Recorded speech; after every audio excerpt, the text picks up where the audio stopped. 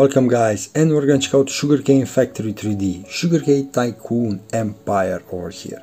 You're going to be able to watch an ad over here. If you do want to do that, I'm not gonna watch it, but you're going to be able to place some real cash in the game because you're going to have a lot of offers.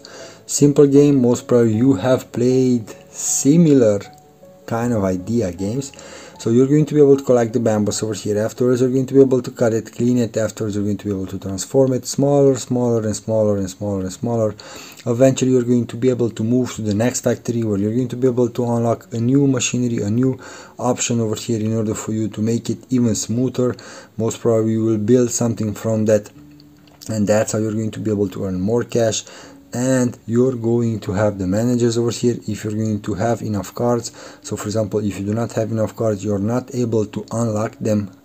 And what you're going to want to do you're going to want to get those cards that are needed.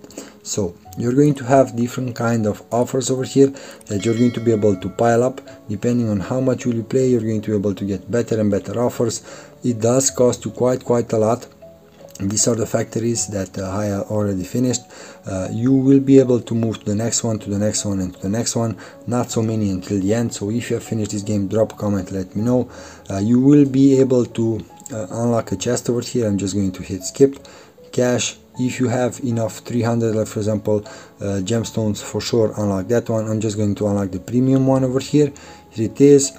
Howdy and whatever their name is. I'm going to go over here and I'm not able to unlock new ones because those ones I already have. So you're going to be able to upgrade these ones. You're going to increase the income that those guys are providing towards you. You do need eventually to uh, upgrade them because for sure you will get stuck and you will not have the auto mode on. You are able over here to hire more and more pandas that are working for you but also unlock new and new fields. Sorry I'm going to show you the fields over here. So this is going to be the field 1 2 and this is going to be the third one. Uh, collect the rewards that you're going to be able to get. A lot lot of ads that you're going to be able to watch. Here it is. I'm able to collect this one.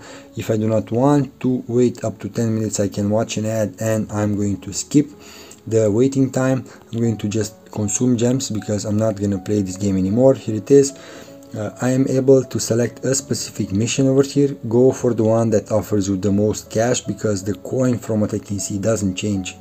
Never it doesn't change okay?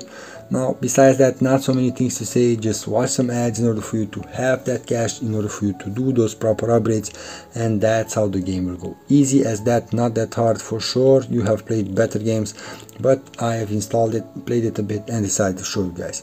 So if you will start playing it let me know how far did you reach and if you have other suggestions about other idle games drop them in the comments below. I will try to make more more content regarding these idle games and if you're a fan of the idle games subscribe. If you're not yet subscribed because over here on this channel you will see daily a new idle game.